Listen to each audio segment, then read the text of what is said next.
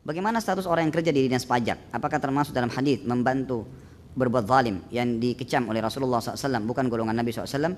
Bagaimana status harta dari gaji di kantor pajak? Kalau kita bicara umum global dan pendapat jumhur ulama, sebenarnya pajak itu nggak ada dalam Islam, nggak ada sama sekali. Dan tidak boleh negara hidup dari pajak, mestinya. Keringatnya orang kita ambil gimana tuh? Gitu kan? Itu seperti negara yang sedang merampok hasil kerjanya masyarakat. Ini bahasa langsungnya ya. ya. Mudah-mudahan tidak ada yang tersinggung. Kalau tersinggung berarti anda merasa, gitu kan? Nah, saya cuma menyampaikan saja. Alhamdulillah kalau memang dia pas berbuat terus dia tersinggung berarti bagus kena tuh gitu kan.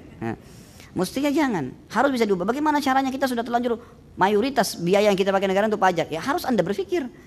Untuk apa jadi pemimpin? Lima tahun dipimpinnya untuk memeras pemikiran uh, tenaga, uh, menguras tenaga kita, pikiran, ide-ide, kembangkan. Bagaimana supaya bisa menjadi produktif? Bagaimana kita bisa menghidupkan? Bagaimana kita bisa memberdayakan? Mestinya begitu. Kalau tidak kita akan vakum terus nih, gitu kan? Saya tidak pernah temukan ada pendapat ulama yang mengatakan boleh penetapan pajak secara mutlak di sebuah negara. Itu tidak pernah saya temukan ada pendapat. Malah pendapat ulama umumnya melarang itu. Tidak bolehnya ada itu gitu kan. Dan ada hadis yang berbunyi pemilik maks maks itu orang yang suka memungut ya bayaran-bayaran dari orang yang lewat gitu kan. E, kemudian seperti misalnya maaf teman-teman di bea cukai begitu. Masuk barang lebih dari seribu dolar harus bayar. Kenapa harus bayar akhi? Orang kerja setengah mati banting tulang dia beli barang untuk kebutuhan rumahnya kita harus bayar ke negara. Kenapa harus bayar nih? Kan nggak nyambung gitu ya. Eh, harusnya biarin aja. Di zaman Nabi SAW orang bolak-balik keluar bawa barang di Madinah nggak ada masalah. Oh ini untuk kerapian, kerapian larang saja masuk barang yang terlarang. Kalau barang boleh nggak ada masalah. Orang mau dagang, untung kan dagang itu, nggak apa-apa, gitu kan? Bisa saja hidup ekonomi di negara itu kan, dan dan seterusnya banyak hal lah sebenarnya. Ada sebagian ulama yang mengatakan ada satu celah, ada satu celah di mana pajak itu nggak apa-apa, gitu kan? Pada saat pajak itu bukan ditetapkan oleh pemerintah, tetapi di, bukan ditetapkan secara wajib ya. Seperti kita kan wajib pajak, wajib pajak. Dia bukan diwajibkan. Dia ditetapkan sebagai sebuah peraturan pemerintah, terbuka bebas, masyarakat siapa yang mau bantu pemerintah dengan pajak. Tidak dipaksa. Sebab kalau maksa ini nggak boleh, memaksa orang mengambil hasil keringatnya nggak boleh dalam Islam. Tidak ada hak kita untuk itu. Tapi kalau diberikan kesempatan, siapa yang mau nyumbang silakan. Seperti misal Nabi SAW kalau mau berjihad, apa yang boleh lakukan?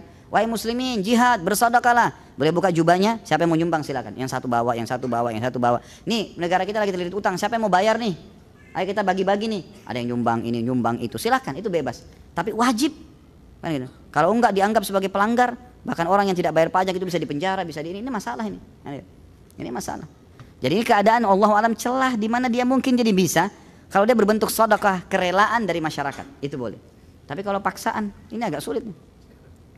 Status harta dari gaji kantor pajak Allah alam sama dengan kata-kata tadi. Kalau emang itu tidak boleh, maka lebih aman untuk tidak bekerja di situ. Kecuali tadi memang ya masyarakat semuanya mengatakan kami mau bayar pajak, kami suka sodakah buat pemerintah. Memang pahalanya besar. Lo kok ketawa? Berarti nggak setuju ya? Bukan saya yang bilang ya. Anda lebih banyak suaranya dari saya. Nah iya, gitu kan? Kalau memang masyarakat bilang kami mau bayar demi untuk perbaikan infrastruktur lah, apalah, APBN lah dan segalanya, oke okay, silakan. Sedekah. Bebas. Pahalanya besar memang. Karena jalan itu jadi amal jariah, pembangunan apa jadi amal jariah, memang begitu. Gitu kan?